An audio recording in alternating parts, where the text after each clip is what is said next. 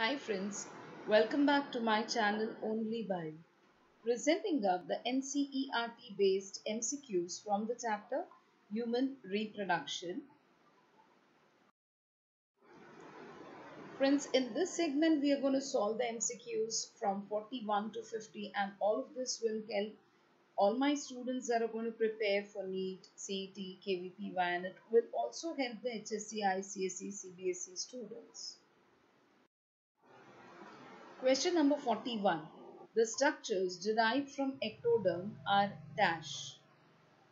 First, pituitary gland. Second, cornea.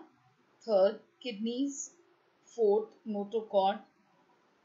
And your options are A, 1 and 3.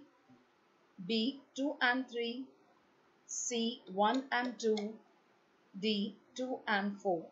And the correct answer for this question is C 1 and 2 because kidneys and notochord are mesodermal in origin and what has been asked is that structures that are derived from the ectoderm. So pituitary gland and the cornea are derived from the ectoderm hence the option C is the correct answer in this case. Question number 42. In the event of pregnancy, the corpus luteum persists under the influence of dash A. LH B. FSH C. Chorionic gonadotropin D. Progesterone and the correct answer for this question is C. The chorionic gonadotropin. This is the hormone which basically is responsible for retaining and growing the corpus luteum in the event of pregnancy. Question number 43. Cryptorchidism is a condition where dash A. One of both the testes are not developed. B. One or both testes fail to descend into the scrotum. C. One or both testes are not formed. D. None of the above. And the correct answer for this question is B. One or both testes fail to descend into the scrotum. An undescended testicle, that is in case of cryptorchidism, it is usually corrected with the surgery. So the surgeon carefully manipulates the testicle into the scrotum and stitches it into place. This technique is called as orchiopexy. This procedure can be done either with a laparoscope or with open surgery. So this is how it is corrected.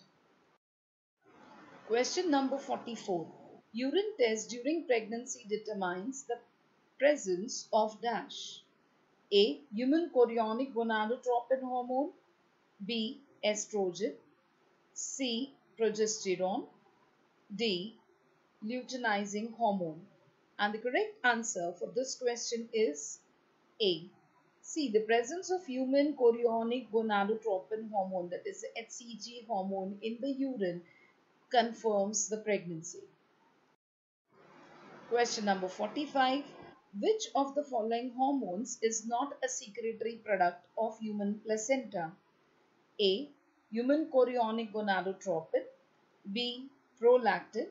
C. Estrogen. D. Progesterone.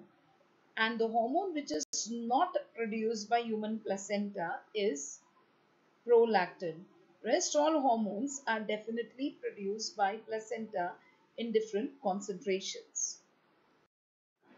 Question number 46. Structure connecting the fetus to the placenta is dash. A. Umbilical cord. B. Amnion. C. Yolk sac. D. Chorion. And the correct answer for this question is umbilical cord.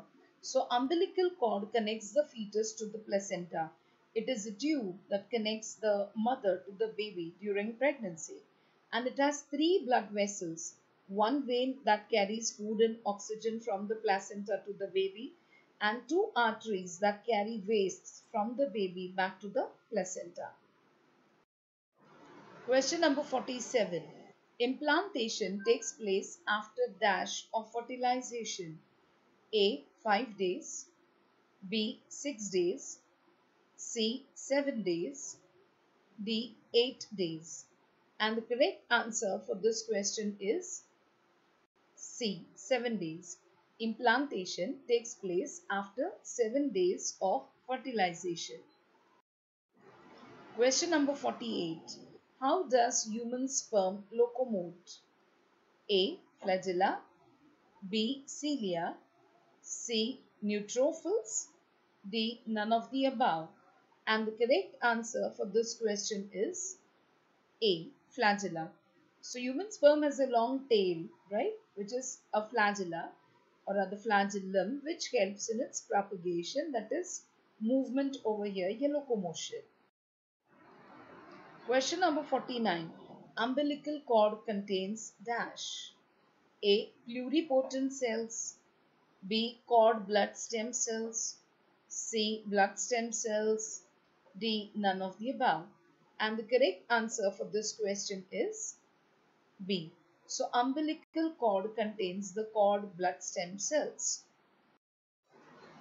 Question number 50.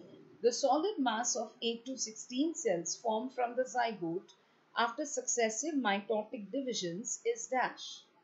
A. Blastula B. Gastrula C. Morula D. None of the above. And the correct answer for this question is C. Morula. So the solid mass of 8 to 16 cells formed from the zygote after successive mitotic divisions is called as morula. Friends, I'm sure the series will help you.